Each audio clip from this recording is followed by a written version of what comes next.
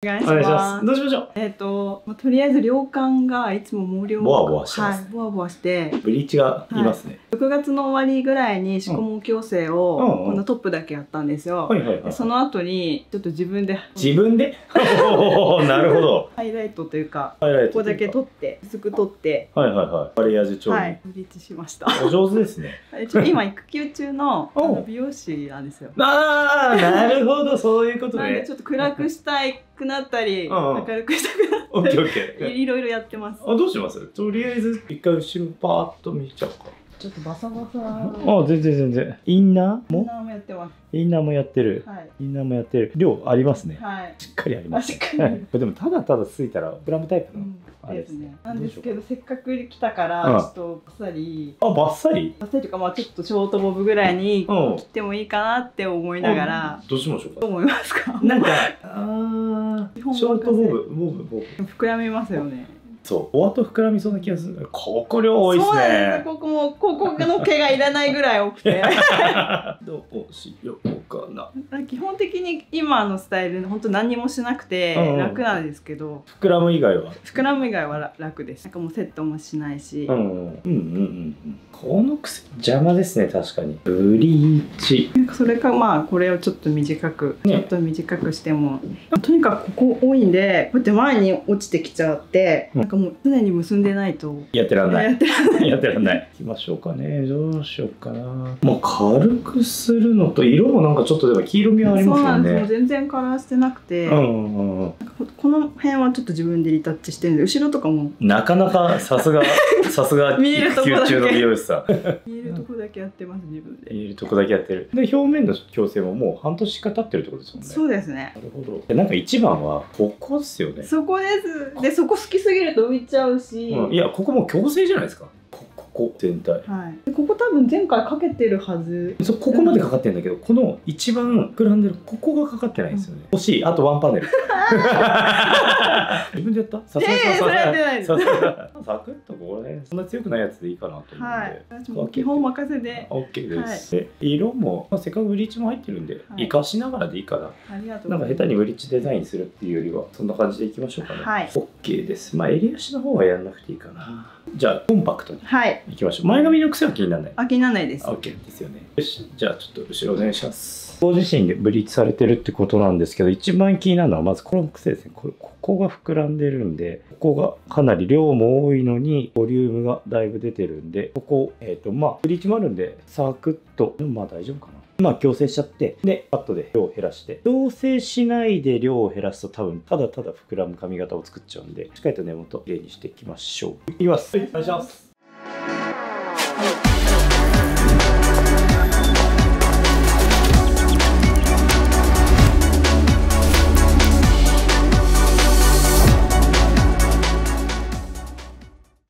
じゃあそんな感じで宿毛矯正でポイントポイントでいきたいと思います。の膨らむところを押さえて、さらにあの他のところと差があんまり出ないように、完成宿毛矯正リッチ6.5システアミンの pH6.5 のシステアミンにスピエラ、アイマーのスピエラですね、ラクトンチオールを10%でサクッといこうかなと思います。じゃあ早速一液塗ります。で、あんまり塗るところを広めてもしょうがないんで、本当はリッチ言うの2対1とかでいってもいいかなって感じなんですけど、まあ、万が一ブリーチのところについたりしたらちょっと怖いんで、さっと。で、ネープはやんなくていいと思います。よしこんな感じで、一番膨らむところを一液アタックして、こういうとこですね。すいてあるんですよ。ちょっとすいてあるんだけど、結局すいてあっても、このうねりがあるから広がってしまうんで、ここを確実に癖を伸ばす。で、酸性の柔らかさで、新しく生えてきても、まあ半年以上は持つようにしてあげるといいかなと思います。ここ表面やったっておっしゃったんですけど、ここ、ここが欲しいって感じですね。この上は多分やってあるんですけど、まあ一応半年経ってるんで、半年か5ヶ月ぐらい経ってるんで、ちょっと上もプラスでいきます。ここですね。ここにうねりがあって膨らみやすい。ちょうど頭が四角くなりやすいポイントだと思うんで、ここはちゃんと綺麗にいこうかなと思います。はい。こんな感じで、ちょっと全体塗りますね。はい。こんな感じで塗り終わりました。だいたいこれですね。8よりも下、この、ここら辺ですね。までの根元の膨らみそうなところっていうのに、リッチとスピエラ10杯やったんで、毛先ですね。毛先、少しだけでも柔らかくしたいんで、まあ、トリートメント保護剤兼、あとは若干の還元剤、ドロップ。ドロップに、えー、と、スピエラ1%ピーラ1%のメテオ10%。要は、えっ、と、レブリン酸の効果、レブリン酸で柔らかくしながらも超微還元させることによって、髪の毛っていうのをサラサラの状態にしていきます。で、まず、キャラフェクトの5倍希釈でしっかりと、まずは前処理ですね。で、まあ、トリートメントが入っていくっていう感じですね。ドロップとスピーラがうまく効いてくれればいいかなと思います。伸ばそうっていうか、ただただザラつきとか、そういうのが取れればいいかなぐらいなんで、基本はこうこのもう根元のタイムっていうので流していきます。で、いったらもう、あとはもう本当トリートメント塗る感覚でいいんで、ざっくりで、とで、アイロンとか特にしなくてもいいし、あの、途中で、この上の方のアイロンをするときに毛先の方に行ったときに、ちょっとデになればいいかなと思ってるぐらいです。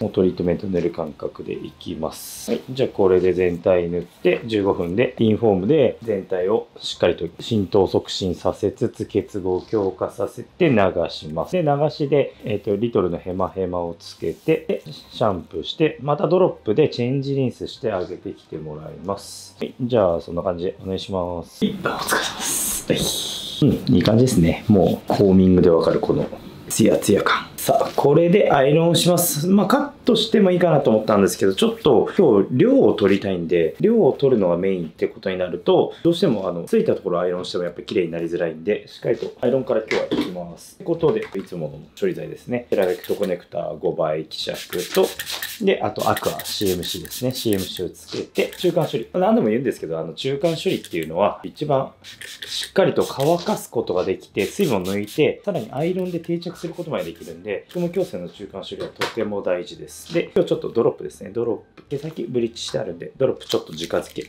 さっきあの、シャンプー台であのチェンジリンスしてあるんですけど、ちょっと毛先の方に直付けして、あとはリンクのオイルで、サクッと手触りよくして、これで全体乾かして、で、根元が水分1割残しぐらい。普通に見た目乾いてんだけど、触るとひんやりするぐらい。で、毛先はブリーチ部分があるんで、毛先はブロー。逆のパターンですね。根元は甘いんだけど、毛先はブローされてる状態っていう、普通常のブローの逆のパターンでいこうかなと思います。乾かします。はい、こんな感じですね。こう触るとひんやり。で、毛先がブローされた状態。で、微還元のトリートメントをつけたようなイメージなんですね。ほんのちょっと還元させつつも、トリートメント成分が入るんで、もうこれだけでツヤがすごい出ます。で、ブリッジはもちろん余裕で大丈夫です。はい、ということで、こっから先、しっかりこの根元のとこですね。ここら辺がしっかりと綺麗になるように、ツインブラシでアイロンしていきます。で、今日薬塗ってない部分もサクッと熱だけ通したいんで、ちょっとだけ熱通そうかなと思います。一回触ってみてもらっていいですか？もう全然見た感じが違う。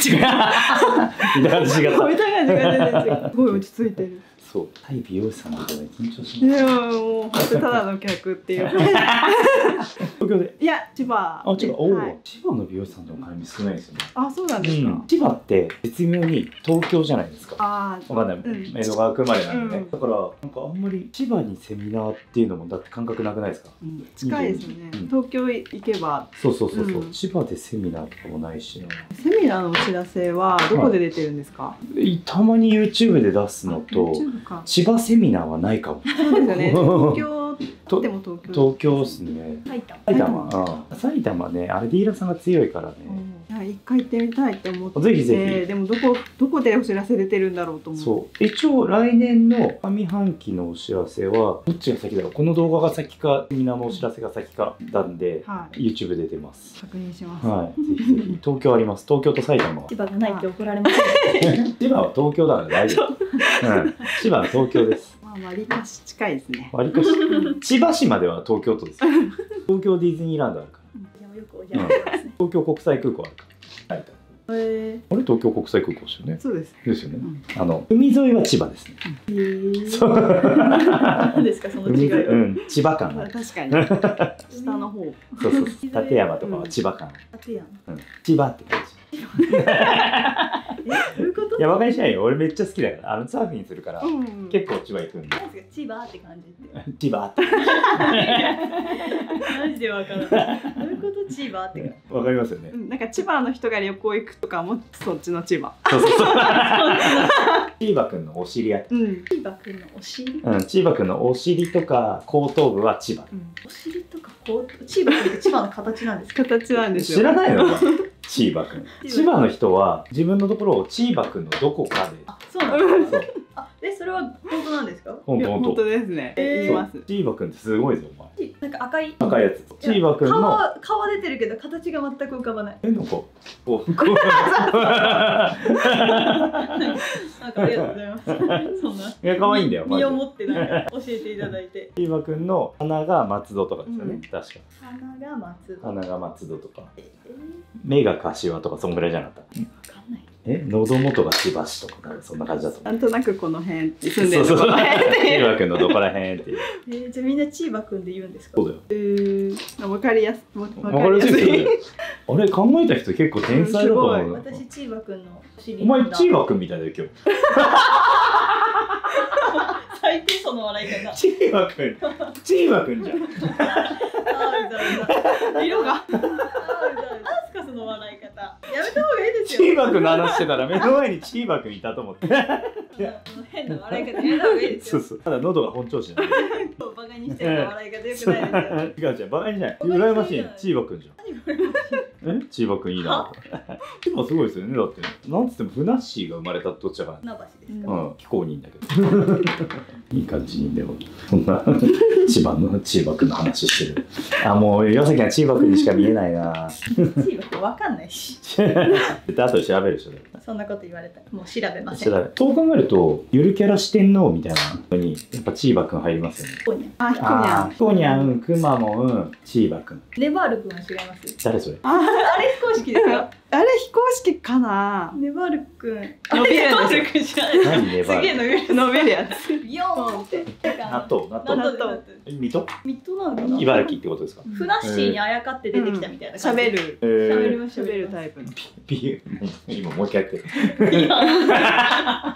全然わかんないいや本当に伸びるんです結構な高さ結構な高さまで伸びる結構な時間本当マジ伸びますよね伸びますうやって伸びてんだろう多分なんか持ってるんでしょ、うんこうこうやって。こう中で多分こうやっていらないんですかネ バールくんちょっとごめん。調べてる後で調べる。ありえない。結構パンチある感じ。あじゃあパンチありますよ。そうなんごいね。ゆるキャラ？なんか市場のお祭りとかに来てたりとかして、なんかプロレスしたりしてます。ブルーカラがプロレスするんですよ、大丈平和。夫 短い足とかでこううんそう。蹴ってるかわい。い中に入ってる人たちも大変です大変ですよね、なんで中に入ってるとか言うんですか？入ってないっていう体なんですよあれは。きっと入ってるよ。入ってない。入ってない。夢は壊さないでください 子供たちの。ナッシーもイリュージョンが開いたとか言うじゃないですか。後ろ空いてる後ろ開いてって。ミッキーも入ってるよ。当たり前ですよそのこと知ってます？知ってます？夢を持ってみんな言ってるんですよ。そういうことね。じゃあもうえどんぐらい産休中なんですか？もう結構長くてもうすぐ2年になっちゃうんですけおど今月に2回だけ働かせてもらって、あいいね。気持ちいい働き方 週1ぐらいよくないですいいですね。か 月2か。月になるんですよ。お客さんじゃあ数名を。数名を。パシッと。はい。でなんかその間に、まあ、お友達の美容院に行くんですけど、はいはいはい。なんか美容系の YouTube 見てるって言って、うん。で永田さんの話になっておうえ見てみようってなってうん見出したらもうすごいハマっちゃって。お友達からそう。で子供寝たらもう永田さん勉強してうん。今度ここんな感じの髪型のお客さん来るからやってみようってああありがとうございます。そうそうそうそう。そう言っていただけると一番嬉しいです、C シェイプやってます。C シェイプそう 内側がね短くなるからェイプやった方がいいですすごい楽しいです。よかった。そう、そんな感じで結構ね、見てくれてる人が増えたというか、セミナーがすごいですね。うんセミナーが集まりが良くなったというか。それでセミナーも行きたいなって思っそうてうんうんうん、ぜひぜひあのお知らせあるんで東京と埼玉、行きますうんもういつか。結構来年はだから北海道から沖縄まで、すごいですね。はい、全部行くんで。であのシャンプーとはいミストも買っておお、使っ結構美容師さん買ってくれるんですよね。すごいいいです。めっちゃ良くないめっ。ちゃいい。いや、美容師さんだから言うけど、めっちゃ良くないめっですか？ちゃいいです。でそれも美容師の友達にめっちゃ良かったって言って、。そうなんですよ。しかもあの値段なくないそうですか？安い。そうそうそう。いや、良心的そうなんですよ。良心そいつもなんかお客さん一般の方だから、うんこんなどうやらないけど、いうんやいいんですよ。うん、なんかいいのかなって。そうそう。いやだっていいですもん。あれめちゃめちゃいいです。めっちゃいい。私お客たまにまあうん2回しか出てないんですけど、うんお客さんにめっちゃいいミストがあるから。そうリストとかめちゃめちゃいいですね。めちゃめちゃいいちょっとね、でもあれ思った以上に出来上がって、ああこれでいこうと思ったら蓋開けてみたら原価めっちゃ高いんですよ。えあれ 一応あのいろんな最終配合。例えば防腐とか、はあのそういうのとかもやってくれてる人がいるんですけど。でじゃあこのレベリンさんはこれぐらいのパーセンテージでとか。そんな感じで決まって出てきてじゃあ行こうと思って僕はもうシャンプーと同じ2700円で行こうってずっと思ってた、で行ったらだから上がってきたのが「そうこれってあのフリーネ5000円ぐらいでしたよね」もうびっくりです ちょっと待ってだからね。儲からない。い。ですよね。よねみんなに喜んでもらえばよかったなっていう。めちゃめちゃ喜んでます。そうそう。売り値5000円だと思われて作られてたやつうん確かに僕もあの完全にここら辺度外視で、うん。じゃあこれもうちょい入れてこれもうちょい入れての繰り返しをしてためちゃめちゃいいものがそうそうそうそう。向こうもびっくりですよ。向こうもびっくり。5000円ですよねって言われて。え？ちょっと違うんですけどつって。向こうもえそんな値段？まあみたいな。まあ赤字になんなきゃいい。だから面白いですね、うん。まあ、そんな感じで作っていくんで。もう本当すごいうん。愛用してます。ありがとうございます。よし OK ここサンセストレートのいい感じの。うわーもうなんか四角くないっていう。ですね。で、えっ、と、ここからカラーします。はい。で、カラーなんですけど、ただまあ、セルフブリーチなんで、やっぱりちょっとダンってなってるところとかも結構あるんですよね、ここら辺とか。も。だからちょっと馴染ませちゃいましょう。かといって今日、宿毛矯正したんで、ブリーチはできないから、はい。ちょっと明る明るめてか、ミドルトーンぐらいで6%オールでいって馴染ませようかなと思います。寒色系、暖色系。あ寒色系で。寒色系でいきましょう。はい、準備します。はい。じゃあこんな感じでストレートが終わってて、で、このブリーチによる色ムラですね、と、あと根元が黒いところが入ってるんで、もうここら辺、まあ、矯正の時にブリーチするわけにもいかないんで、6%オールで少し綺麗に馴染ませちゃいます。はい、色。これ、この動画が出る時に出てるかどうかわからないですけど、アルテマリトーノの新色シルバーがメインです。今ないですけど、シルバーとディープブルーが2対1に対して、ちょっとアルカリ足したいんで14円を10%で6%オールでいきます。で、6%オールなので処理剤、えっ、と、キラフェクトコネクターが2プッシュ、インフォーム2プッシュ。で、はい、メテオ30%ですね。カラーと同時に酸熱トリートメントができる処理剤となってます。で、アウターも 3g 入ってます。まあちょっと色味見ていただきたいんで、同時進行で毛束の方も塗っていきたいかなと思います。じゃあ塗ります。一応えぐみが出ないように青はそんなにメインに持ってこないで、はい。シルバーをメインに持ってってます。はい。ね、青系のアッシュの感触も良さそうですけど結構オレンジ出そうそうなんですよ。そうそうそううんオレンジ出そうでさらに青寄せすぎると緑になる、はい。意外に難しいです、ちょっと緑でもうそのうち落ちるからいっかみたいな感じで。考え方が美容師 一応今日はね、はい紫系で色味を抑えながら、はい。はい、感じでいきましょうお願いします。よしじゃあこれで時間を置きますはいはいお待ちくださはいい。はい、15分経過失礼します。いいでしょう。はい、ということで、もういつも通りですね、そんなに難しいことないです。アクアつけて、水分をしっかり足しながら、乳化まではいかないけど、ちゃんとこの髪の毛が呼吸してる時ですよね。カラーによって、ちょっと髪の毛が呼吸してる時、アルカリに振ってる時に、こうやって中間処理剤っていうのを入れてってあげると、かなり浸透もいいし、仕上がりのツヤに影響していきます。あとは原液です。結構、昔は希釈して使ったりしたんですけど、やっぱ結構メーカーさんが希釈何倍希釈何倍希釈ってキャラフェクトもそうなんですけど言うんですけどやっぱり濃い方がいいですよ。あれってメーカーさんがあの売りやすくするために1人当たりのコストはいくらですとか言うんですけど結局なんか効果が薄れたら意味ないんでしっかりとねあのいいものをやってでお客さんに気に入ってもらってリピートした方がいいかなと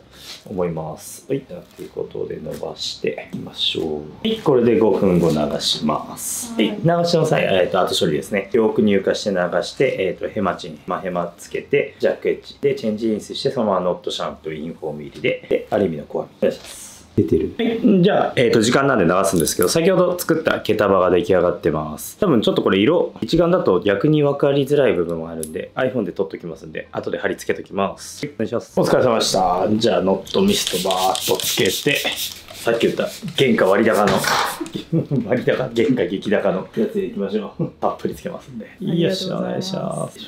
重い。いいですね 困ってます。困ってます困ってます。毛量に。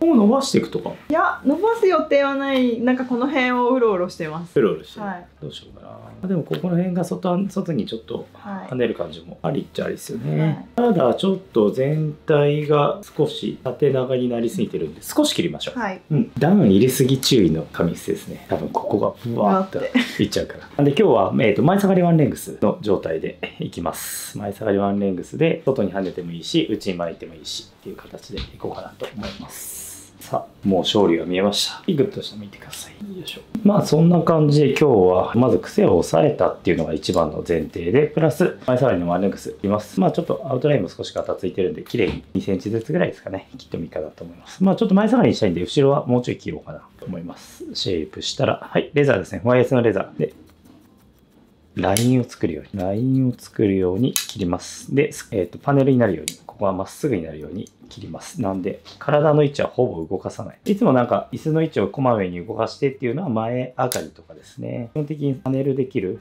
なだらかな前下がりにする場合は、基本的に自分が動かない状態が一番いいですね。次行きます。もうほんと、これを積み重ねていく感じで。よいしょ。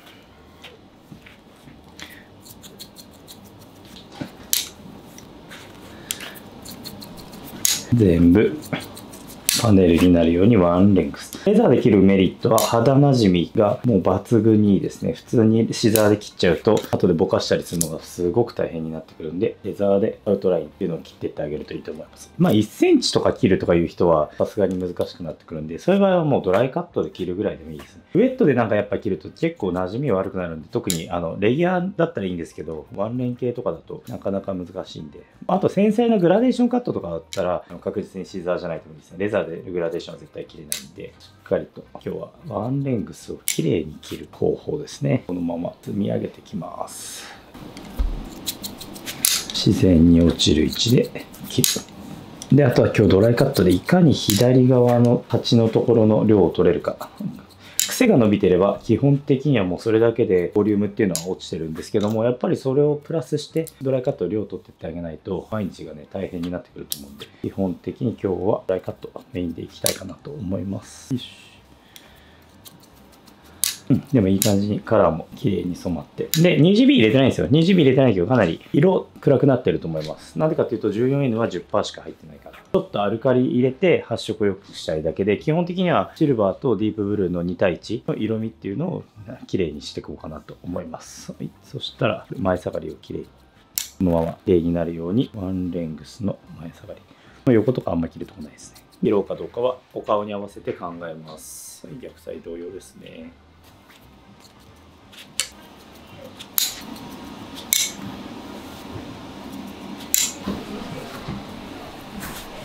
左右揃ってるんで、これで乾かしちゃいましょう。さっきノットのミストつけたんで、軽くもうリンクのオイルつけるだけです。お疲れ様です。完璧でしょうね。すごい色良くないですか？うんすごいですおそう。シルバーにブルー足して、えぐみのないアッシュ。これシルバーにブルーって、あれか、冬のファンタジー。それ知ってます？つい最近の動画。だよね。おい、なんだよ、さっき。よかったですね。数知ってる人がいっぱいいて。カズンしてました？あか数も知らなかっあ、マジで？た知らなかったほらほらほらほら。カズンってなんだろうってでも分かれてましたよねで。もコメント欄はもうカズンで溢れてました。えうん知ってる人と知らない人みたいな。まあいいや 量取っていきましょう。はい。じゃあ、そんな感じで。はい。ちょっとここ見てみましょうかね。ブローだけ。はい。もう、完全に癖が取れてるんで、で、しかもさらに柔らかいですよね。酸性の宿毛矯正なんで、柔らかい状態で癖が取れてるから、根元生えてきても変な境目はできないし、さらにブローして柔らかい丸みさっていうのが出せるって、これがおすすめです。触ってみてください。ここあー、バッチリです。はい。蛍光灯で、まあ、ワンレングスなんですけど、かなりこっち側が重い。まあ、右側も重いですけどね。ちょっと全体量を取っていきたいかなと思います。でもう本当に、はい STR 型場ですね。型場のドライカットシザーで少しずつ取っていく。しかもこれ毛先触ってみてください。いいですよね。あの、もちろんメテオがかなり効いてるっていうのが一番なんですけど、その前に、あの、矯正の時に微微力還元トリートメント、理にかなってるんですよ。ほんのちょっと還元させながら、トリートメント成分を入れ込むっていうのは超理にかなってて、それを、あの、宿毛矯正の時に一緒にやっちゃってるんで、かなりね、手触りは変わると思います。変化すると思う。で、さらにアイ、まあ、アイロンで宿毛矯正が終わる前に、その中間処理がしっかり中に入る。で、さらにメテオのカラーの効果でもっとツヤ感と手触りが良くなるっていう、もう今日はいいことしかしてないですね。誰の毛って感じ？全然違うでしょ。全然違うそう、いいんですよ。まあこんなちっちゃくないんだなります、なります。ぜひサロンでやってみてください。はい。矯正とかあんまりまだやってないんスタートしですよああ徐々にですね徐々にスタートして、ね、あとはもうオーナーさんにメテを導入してくれって言ってください。頼みました。頼みました。ありがとうございます。そうそう。だって別に入れるだけだからね、うん。そんなに難しいこともない時から。間もかからないし。そう時間かかんないのが一番ですよね。あれってあの何パターンかいいことがあってもちろんグリとグリオキシ酸とレブリン酸が入ってるってだけでもちろん髪にいいんですけど pH が下がるんですよカラーの。で pH は大体2から3の間なんですけどあのそのままつけちゃうとあの大体3熱トリートメントで今一番ダメだって言われてるのが修練。うん。要はギューってなりすぎちゃって硬くなっちゃうっていうのがダメだったって言われるんですけどカラーと混ぜるとカラー剤って pH9 大体で最近ね流行りの最近っていうかまあ数年前から流行ってる高発色カラーは pH10 とかいったりするんですね結構なアルカリ性であの髪に、まあ、負担をかけてるんだけどメテを30%混ぜると pH1 ぐらい下がる。おー。8とかになったりするんですよ。8とか9とかになったりするんですけど pH8 って髪ってダメージ超少ないラインなんです。むしろしかも pH8 が処理剤が一番効くんですよ。ケラチンとか CMC とかが一番あの吸着する pH なんでそこも狙ってる感じですね。いいです。入れてほしいです。だオーナーに言ってくださいね。絶対あのそんなにいいことずくめなんでよし。じゃあそんな感じでちょっとバーッと量取っていきますね。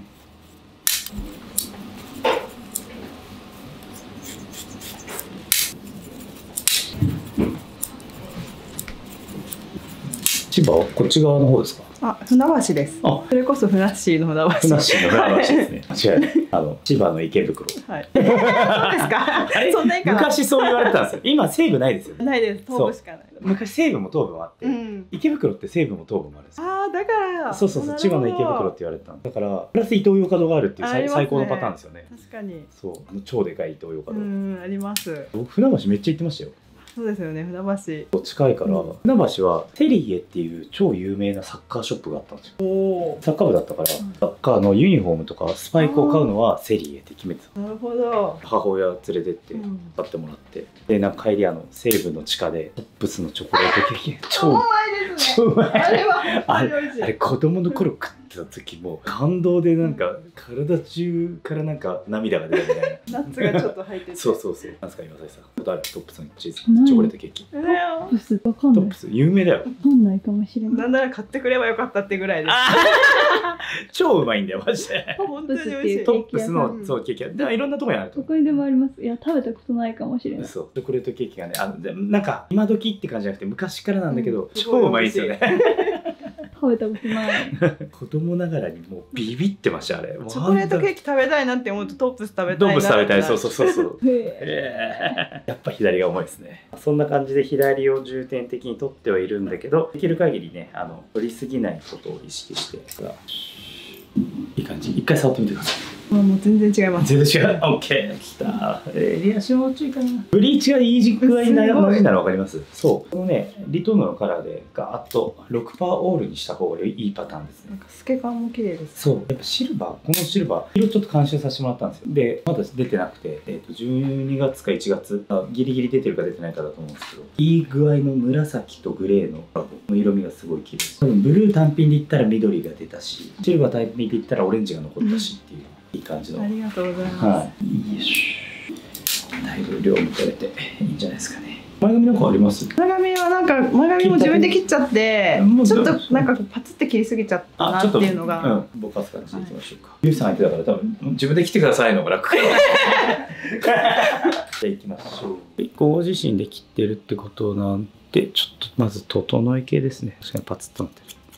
セニングで。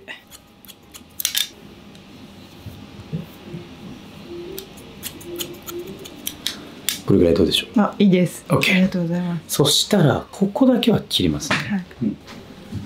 そう前髪とこの間がつながりがないんでこうしてゆっくり。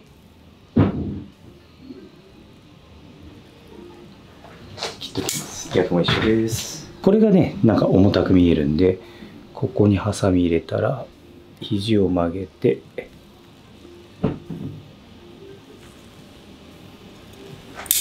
い、そしたら今切ったところちょっとセニング OK いいんじゃないでしょうか。よし。でアイロンで耳の毛つくってメテオのパワーを発揮しましょう。もうかなりブローしっかりしてるんでサクッと。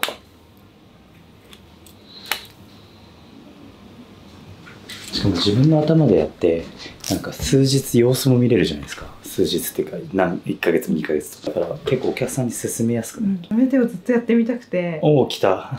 やったって感じです。そう。意外に千葉メテオサロンまだ少ないんですよ、なんでだろうと思って。それこそあの自分でうん。取り寄せてうん、買ったんですよ、おメテオおでおお客さんにだけちょっと試させてもらったんですけど自分はやってなかったなるほどのでやったって感じです。自分でやるのなかなか難しいですよね。自分で自分に。それこそ2日後に美容院の予約を入れてておおでお友達のとこだったんですね、はいはいはどうしようと思って。でも多分採用されないと思ってたんで、うん。言わないでうん。勝手に申し込んでたんですよ。